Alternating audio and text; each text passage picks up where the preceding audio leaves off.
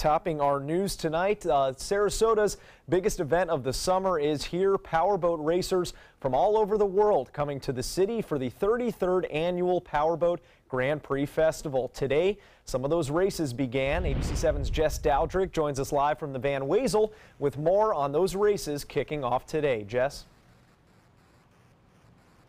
Good evening, Adam. The boat races have ended for the day, and as you can see, the crowds have died down, but there's still plenty of racing to be had tomorrow. Now, between today and Sunday, this event, the Sarasota Powerboat Grand Prix, is estimated to bring 10,000 people to the Suncoast to watch these races. There are more than 30 teams that are participating from all over the world, like New Zealand, Italy, and England. But one team is from right here on the Suncoast.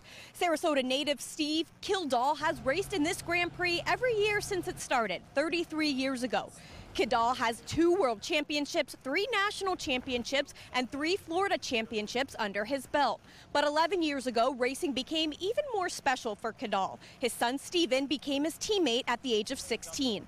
Together, the pair has seen a lot of success in their hometown. The Kildahls have taken the checkered flag the last two years, and tomorrow they have their sights set on a three-peat standing on the dock watching him go racing kind of gave me that bug that, you know, I want to go out there racing with him too.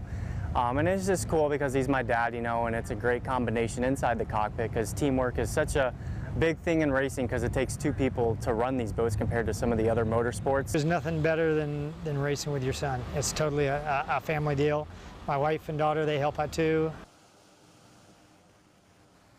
Racing has wrapped up for the day, but there's still another full day to come tomorrow. That's when you can see that father and son duo hit the water. And if you're someone who doesn't want to fight the traffic and look for a parking spot, I've got good news for you. All of the races are streamed live. I have that link on our website, mysuncoast.com, for you to check out. Now, coming up tonight at 11 o'clock, I'll introduce you to the charity that all of the money raised from these races is going to.